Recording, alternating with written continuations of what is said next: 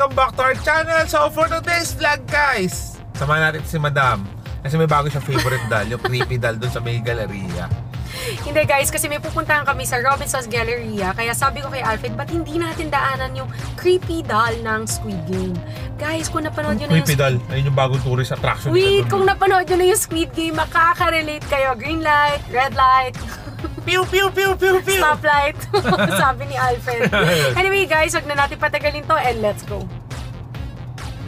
So eto, oh, may nakikita ko dito. Pew, pew, pew, pew, pew. Andito na pala si creepy, creepy, creepy doll.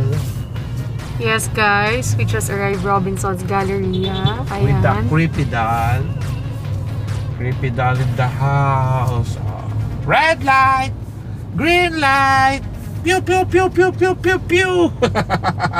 Squid Game pa more! Kaya na po, na-excite na po si Madam sa kanyang creepy doll tour.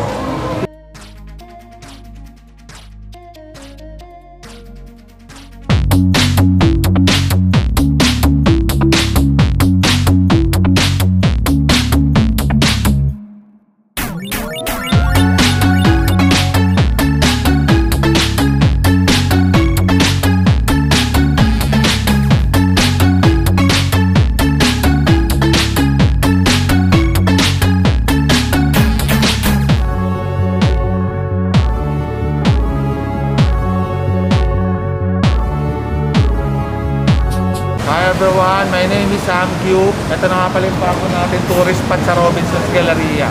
Itong creepy doll. Ayan guys, ang dami nagpapapicture dito. So guys, kung napanood niyo yung Squid Game, ayan na, yung creepy doll. Okay naman yung itsura niya in person.